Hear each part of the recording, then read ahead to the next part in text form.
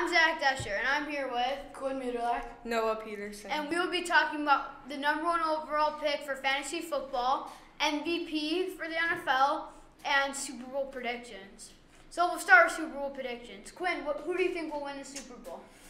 Uh, from the AFC, I gotta go with the Kansas City Chiefs. I mean, last year the best offense in the league, and this year just adding to their defense. It's they're gonna be unstoppable this year. So I have them going in the AFC. In the NFC, ooh, that's toughy. But I gotta go to Los Angeles Rams too. I mean, they've got the best defender in the league, Aaron Donald, maybe even the best player. And if Todd Gurley comes back, they'll be the same team as last year, and I think they'll make it. And from that, I'll have the Kansas City Chiefs winning and actually a blowout, like 27 to 10.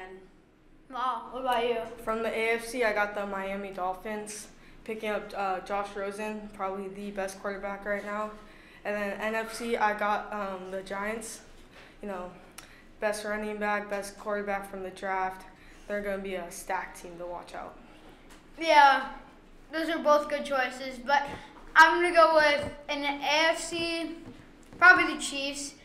And then in the NFC, I think that the Packers are very underrated team right now. They got their defensive key pieces that they didn't have, so I think you better look out for them. But I have the Chiefs beating the Packers 35 to 17 in the Super Bowl. Okay.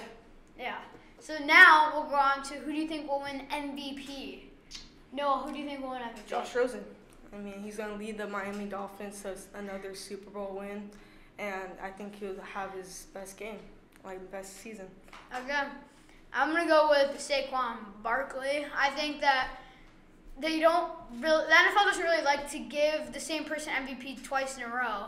So, and Saquon Barkley's one more year experience will probably come better, and I just think he'll win MVP. What about you?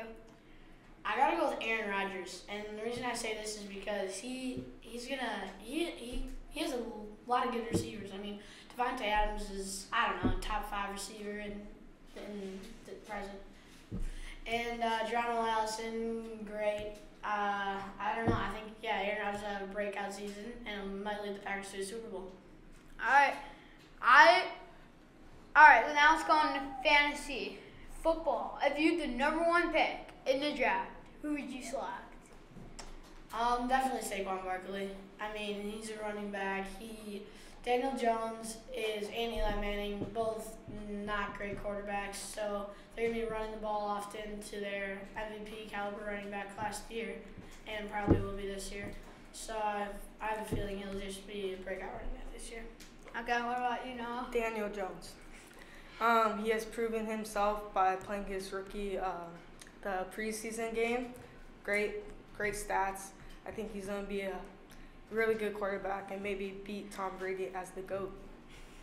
Okay, it's a very bold thing. I'm going to go with, I think probably Saquon, but also I think maybe Alvin Kamara. He's just like kind of a stud. Like he can he can catch, he can run. I just think he's a great all-around running back. So I might pick him.